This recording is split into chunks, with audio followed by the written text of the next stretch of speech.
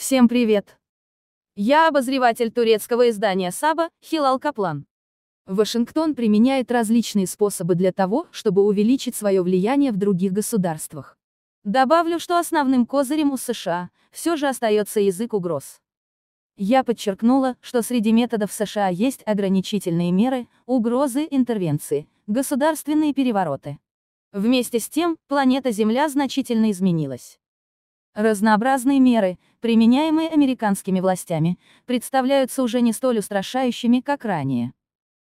США по старой привычке пригрозили Турции ответом, в случае сотрудничества с Россией. В результате, Белый дом, который всегда гордился способностью решать проблемы за счет soft-power, мягкой силы, в настоящее время выкладывает на стол только один, последний козырь – язык угроз.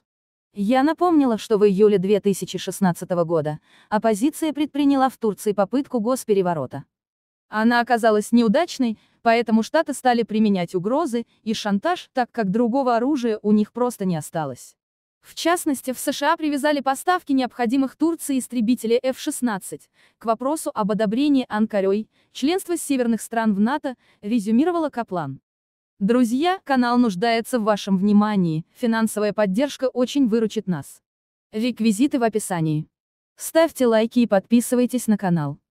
Всем пока!